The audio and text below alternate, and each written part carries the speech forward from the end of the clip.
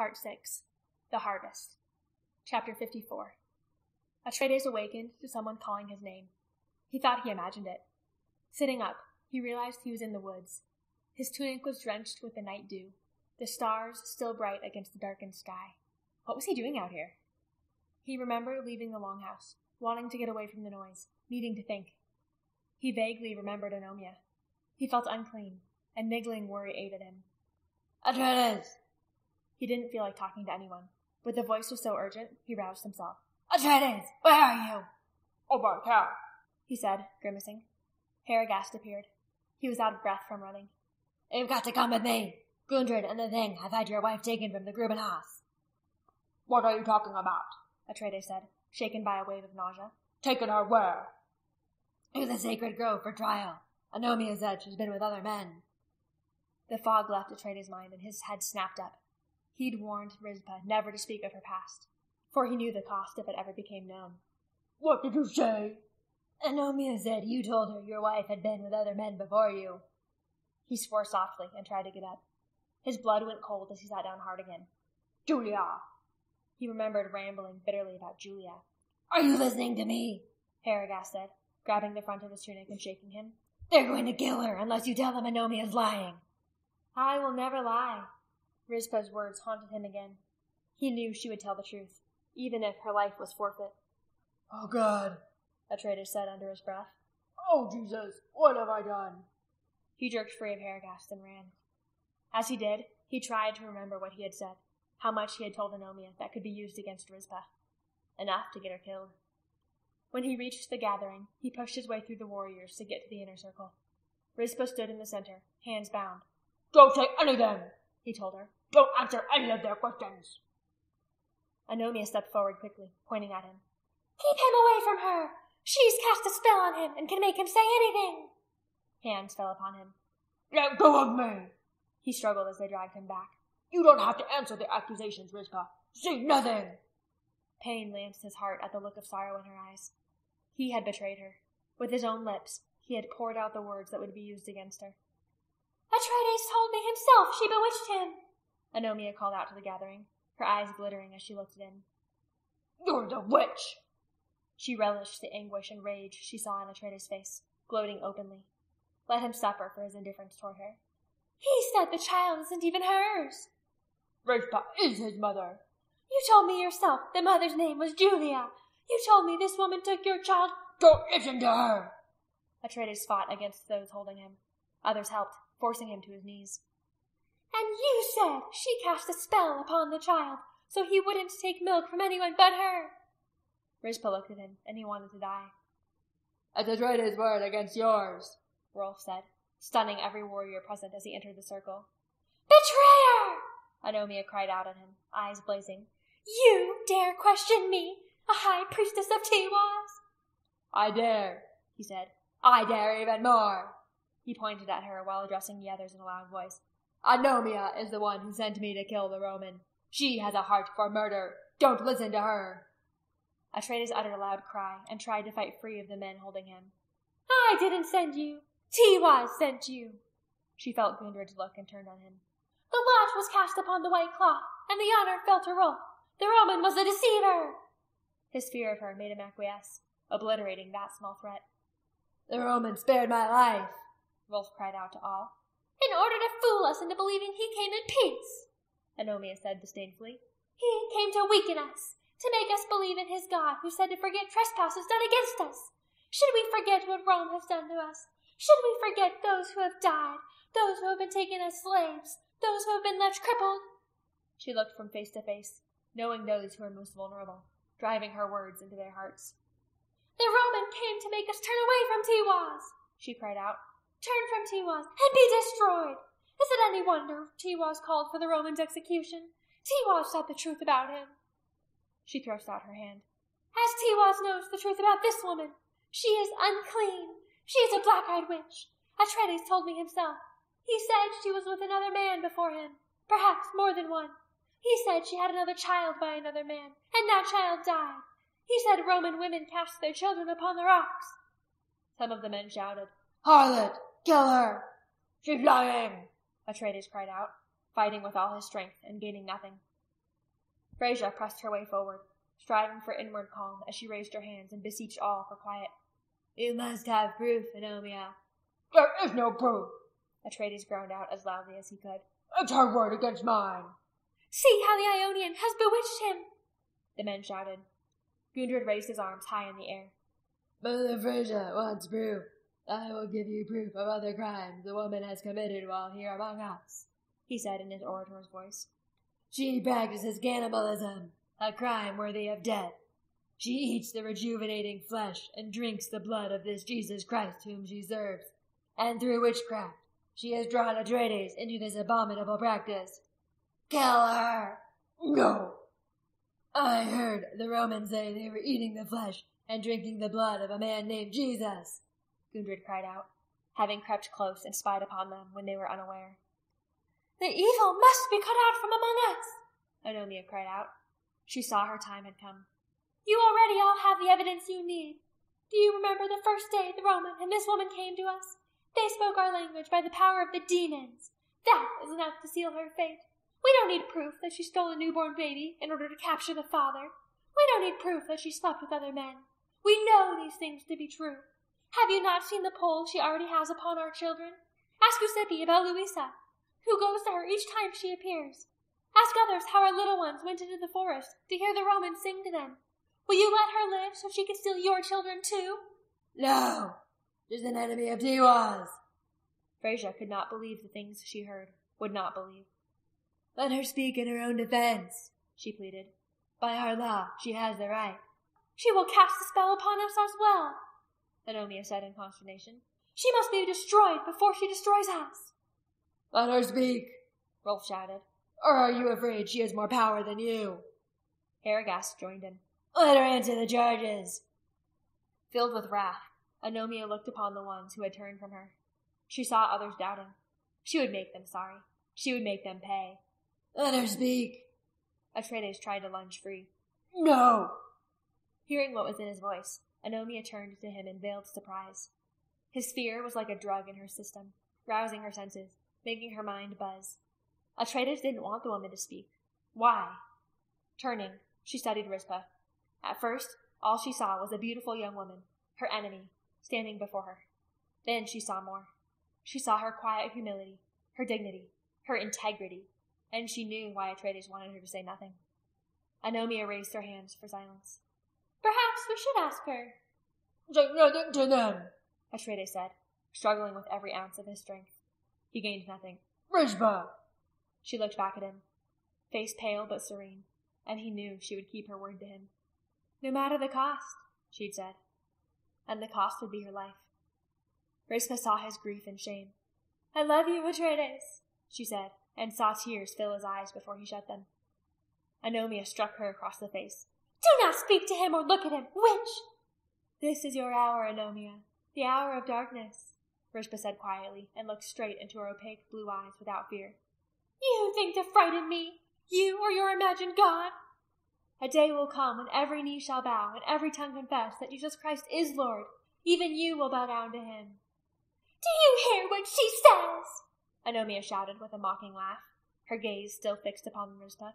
She would have us on our knees. She would have the Chatti, the greatest race on the earth, groveling before a crucified Savior. She turned to the others then, spreading her arms. How long would it take then before Rome kills every last one of you? Rizpah bowed her head, praying silently and fervently. Oh God, you know my foolish heart and my every weakness. None of my wrongs are hidden from you, Father. Please may Atretes and Rolf and all those who have heard your word and believe not be ashamed because of me.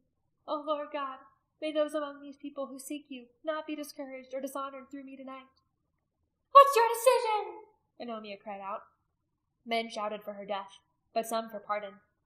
Haragast entered the circle. Because the woman believes in another god doesn't make her a harlot. Warriors shouted more angrily, hearing one of their own speak on her behalf. You never forgave Atretes for commanding your son to be drowned in the bog for cowardice, Holt said. I have heard you speak often against him and his wife. Why do you now defend her? Another cried out. Because I heard the word of her God from the Roman, Haragast shouted back. And it took the hatred and the pain from my heart. And it took your strength as well, Anomia said contemptuously. Ionian has bewitched Haragast as she bewitched Atretes, Gundred said, and more men shouted. How many others has she bewitched? Anomia turned again to Rizpah. Speak the truth, or may your own God strike you dead. Be strong and courageous, beloved. Rizpah could almost hear Theophilus speaking again, and on the heels of that remembrance came the words of God. Do not be afraid or tremble at them, for the Lord your God is the one who goes before you. He will not fail you or forsake you. I will speak the truth, Rizpah said loud enough for all to hear. Hear the word of the Lord. The Lord is our God. The Lord is one. It is the Lord who pardons all your iniquities, who heals all your diseases, who redeems your life from the pit, who crowns you with loving kindness and compassion, and who will satisfy your soul. Anomia screamed in rage, the words like hot coals upon her mind. It is the Lord who has made us. He is the good shepherd, and we are the sheep of his pastures. Speak no more. Gundred cried out in fear, looking to the skies. Darkening clouds swirled overhead, thickening. See how our words have angered Tiwaz. It is the Lord God you have angered, Rizpah cried out. She saw the night sky blackening and was desperate for them to hear. Tiwaz holds no power over you but what you give him. Turn away. Turn away from him before it's too late. Turn to the Lord. Don't listen to her. Stop your ears. Gundred commanded. Cry out to Tiwaz. Cry out. The warriors began the barritus. The Lord made the heavens and the earth and the sea and all that is in them. Rizpah cried out. There is no one holy like the Lord. There is no God besides him, nor is there any rock like our God. Anomia hit her hard enough to drive her to her knees. Atretes lunged forward but was dragged back. Other hands fell upon him and he was forced down, face to the ground. Holt's knee was in his back. Others held his arms and legs. The barritus rose louder, a battle cry against the Lord. Put your armor on, beloved. Atretes remembered Theophilus saying, One man of God puts to flight a thousand, for the Lord your God is he who fights for you. God! He groaned. Oh God, fight for her! Bound and helpless, he prayed, crying out with his heart to the Lord. Jesus, I have sinned. I deserve death, not her. I turned away. Lord God, forgive me. I turned away. There is no one besides you. O Lord, my God, come between my wife and this multitude. O Lord God, my God, forgive me. He wept. Jesus, Jesus. God, don't let her be destroyed because of my weak faith and foolishness. O Lord, let them not prevail against you. The clouds swirled, boiling over and blocking out the stars and the moon so that only the torches cast light upon the sacred grove. An ominous rumble rolled. Hear Tiwaz's voice! Anomia screamed, heart racing wildly. Repent! Rizpah cried out, sobbing in fear for them. In repentance and rest you will be saved. In quietness and trust. Turn your hearts to the Lord. Cry out to Tiwaz! Anomia screamed above the din. Let him hear your voices. Yes, yes, let him hear you. Tiwaz, Tiwaz. Warriors banged frameas against their shields. Lightning flashed, the jagged spear of hot light striking the sacred tree.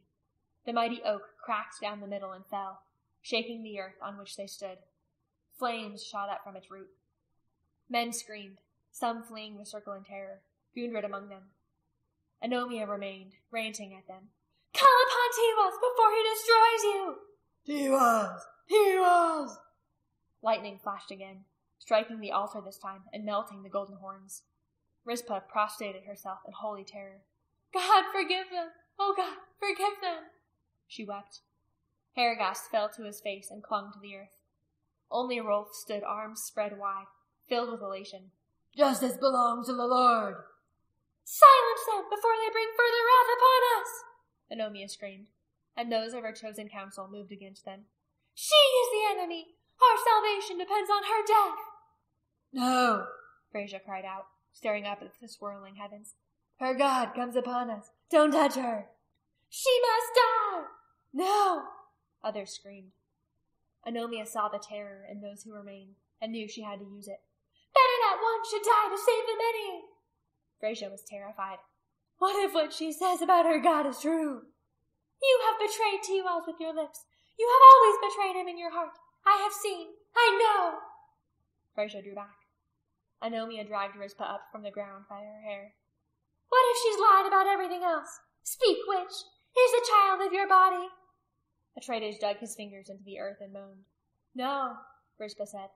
And his mother's name was Julia. Yes. Did Atretes take his son back from you? Yes. Did you have a child by another man? Yes. And that child is dead? Rizpah closed her eyes. Yes. Oh God! Atretes groaned softly. By her own lips, she has passed sentence upon herself. Anomia said, her fists tightening in Rizpah's hair as she looked around at the circle of stunned faces. Tiwaz struck the tree and the holy emblems because we are forsaking his law by letting her live. See how the heavens clear now, and the stars shine again. Lord, you are my rock and my redeemer, Rizpah murmured in complete surrender. Anomia pulled Rizpah's head back further, exposing her pale throat. Atretes knows the law.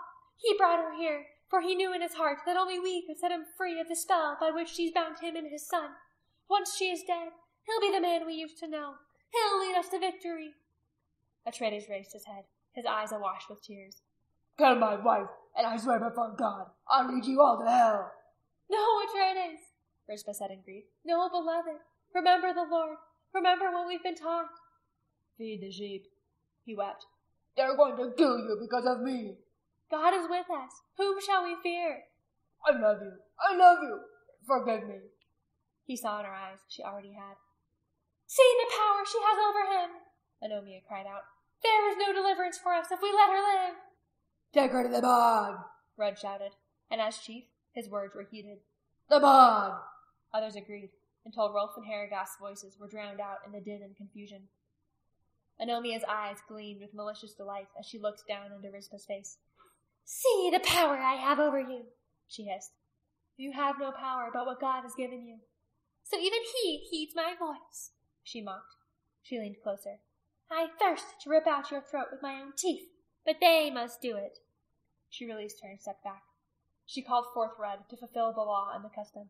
Shave off her hair. Rudd took out his knife and proceeded to shave the left side of Rizpah's head close to the scalp. On the right side, he cut the hair two inches in length, letting the luxuriant dark locks fall to the ground around her. Rizpah saw Freyja weeping, clutching her amber amulet. Turn to the Lord, mother. Anomia struck her again, dazing her. Strip her and put the collar on. Rudd slit the back of Rizpah's tunic and tore it from her. He took the heavy leather collar from Anomia's hand and put it around Rizpah's neck, then dragged her roughly to her feet. The Lord will bring to light the truth if you but ask, Rizpah said, using what time she had left. Christ died for your sins. He was buried and raised on the third day.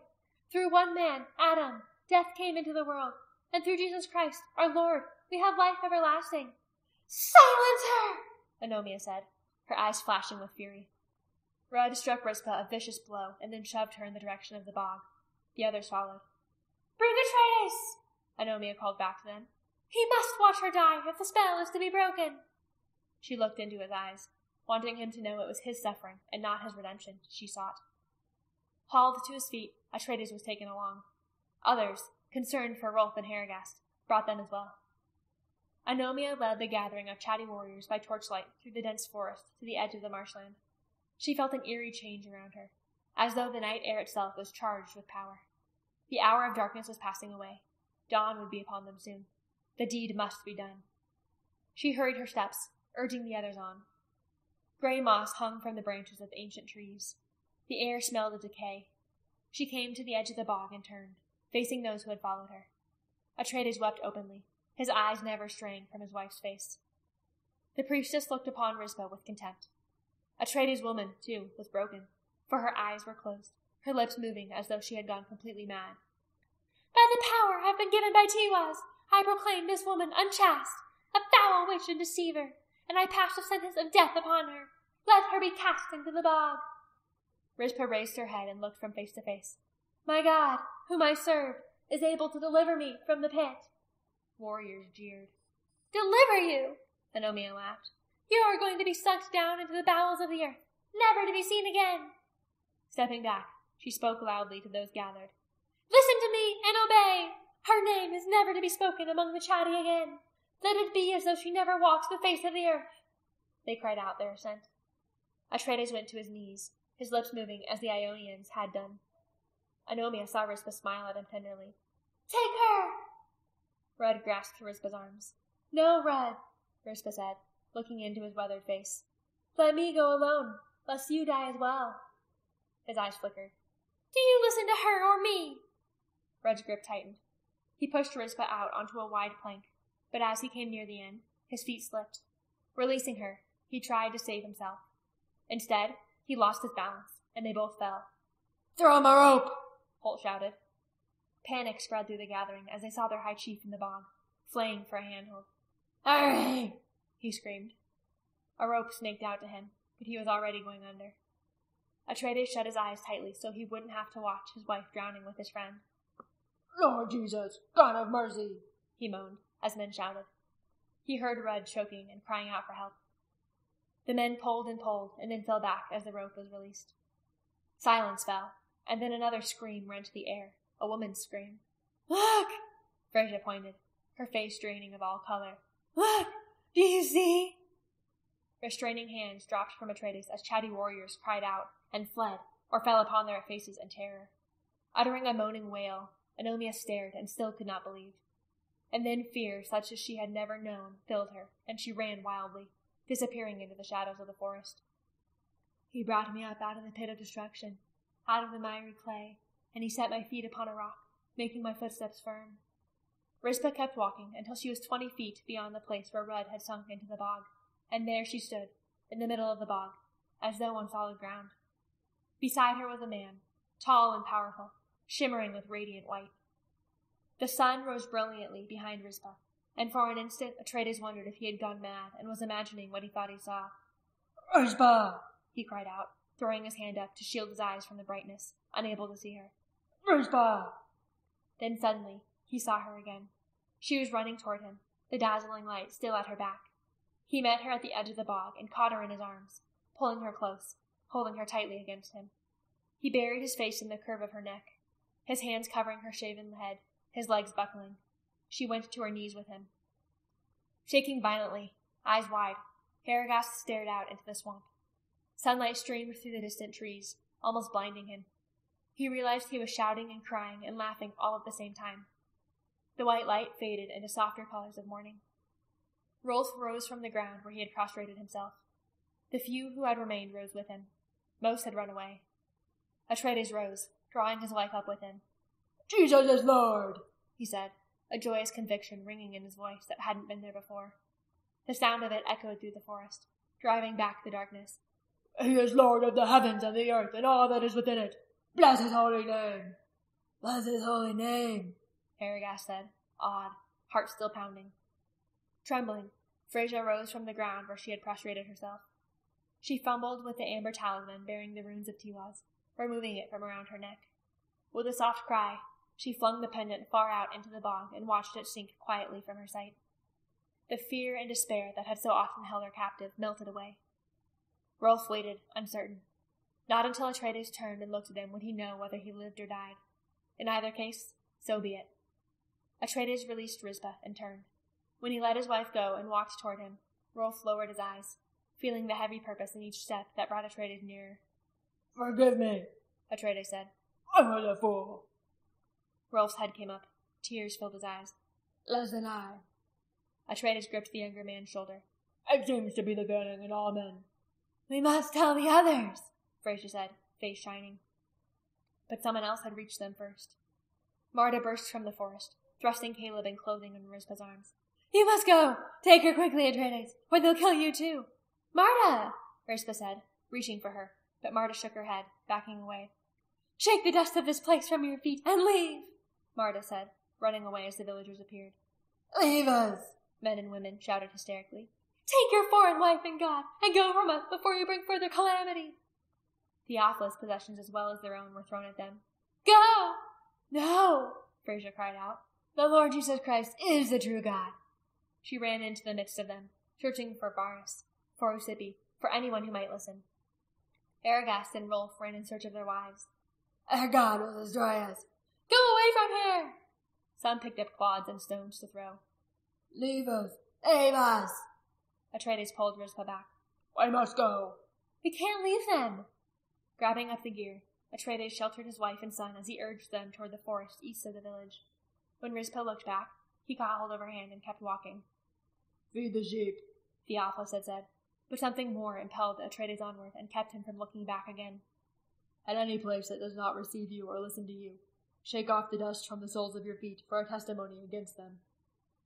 Rizpah wept for the lost, and so did he, but they'd made their choice, just as Rudd had the instant before he fell into the pit.